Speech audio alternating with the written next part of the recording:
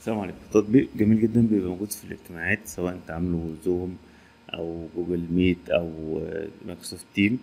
بيسجل ال- الاجتماعات وبيلخصها لك ويركز على النقط الرئيسية بحيث إن بدل ما تحاول تراجع ساعتين لا هتلاقي قدامك نص صفحة تقدر إن أنت تقراها وتبعتها للناس اللي كانوا موجودين في الاجتماع. فهو بمثابة سكرتير ليك يلخص لك الاجتماع واهم النقاط اللي أنتوا اتكلمتوا فيها أثناء الاجتماع.